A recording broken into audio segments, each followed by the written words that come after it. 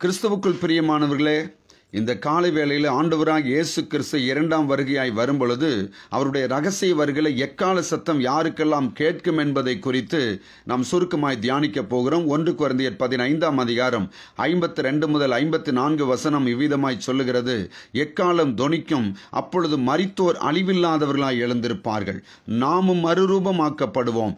அழிவுள்ளதாகிய இது அழியாமையையும் சாவுக்கேதுவாகிய இது சாவாமையையும் தரித்து கொள்ள வேண்டும். அழிவுள்ளதாகிய இது அழியாமை அழியாமையையும் சாவுக்கேதுவாகிய இது சாவாமையையும் தரித்து கொள்ளும்போது மரணம் ஜெயமாக விழுங்கப்பட்டது என்று எழுதியிருக்கிற வார்த்தை நிறைவேறும்.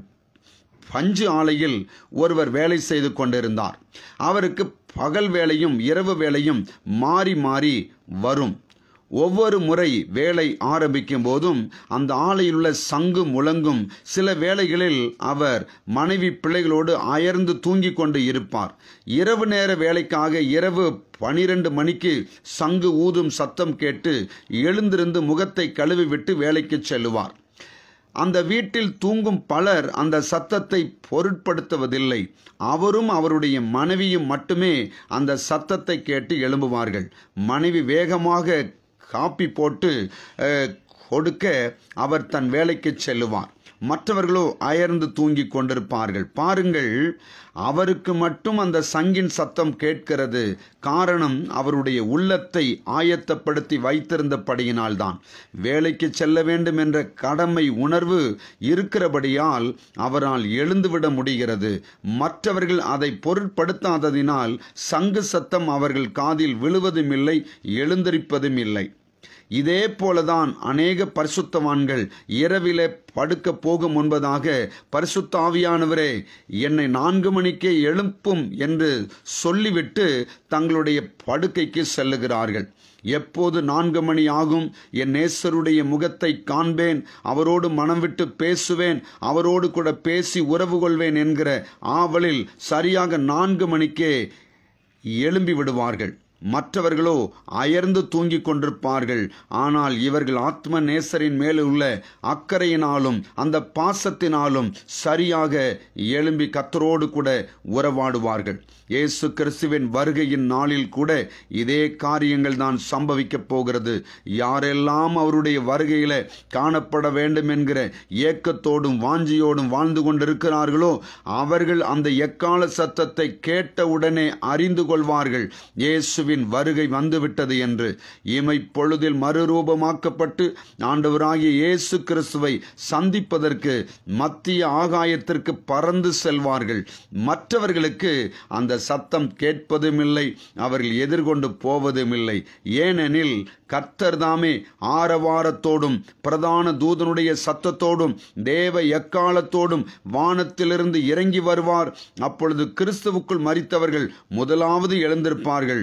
பின்பு உயிரோடு இருக்கும் நாமும் கர்த்தருக்கு எதிர்கொண்டு போக மேகங்கள் மேல் அவர்களோடே கூட ஆகாயத்தில் எடுத்துக்கொள்ளப்பட்டு இவ்விதமாய் எப்பொழுதும் கர்த்தருடனே கூட இருப்போம் என்று ஒன்று தெசுலோனிக்கை நான்காம் அதிகாரம் பதினாறு பதினேழு வசனங்களிலே நாம் பார்க்கிறோம். அப்போது அழிவுள்ள இந்த சரீரம் அழியாமையை சரித்து கொள்ளும்போது மரணம் ஜெயமாக விழுங்கப்படும். அல்லேலுயா.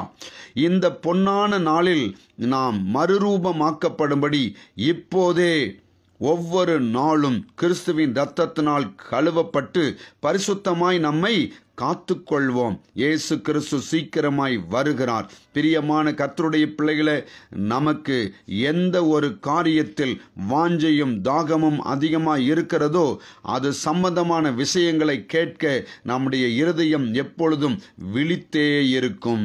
அதுபோல தேவன் மேல் வாஞ்சையும் தாகமும் இருக்குமானால் அவருடைய வசனத்தை கேட்பதற்கு அவரோடு உறவு கொள்வதற்கு அவரோடு கூட பேசி மகிழ்வதற்கு நம்முடைய இருதயம் ஏங்கும் ஏங்கிக் கொண்டே இருக்கும். எப்போது அவர் வந்தாலும் அவரை சந்திக்க ஆயத்தமாய் இருக்கும் என்கிற அந்த வாஞ்சை நமக்குள்ளே தொனித்து கொண்டே இருக்க வேண்டும். அந்த விதமான தாகத்தினாலே ஏக்கத்தினாலே நம்முடைய மனம் நிரம்பி இருக்க வேண்டும். சங்கீதக்காரன் சொல்லுகிறான் எப்பொழுது விடியும் என்று விடியற் காலத்துக்காக காத்திருக்கிற ஜாமக்காரனைப் போல என் இருதயம் என் ஆண்டவருக்காக ஆயத்தமாய் காத்திருக்கிறது என்று சொல்லுகிறார்.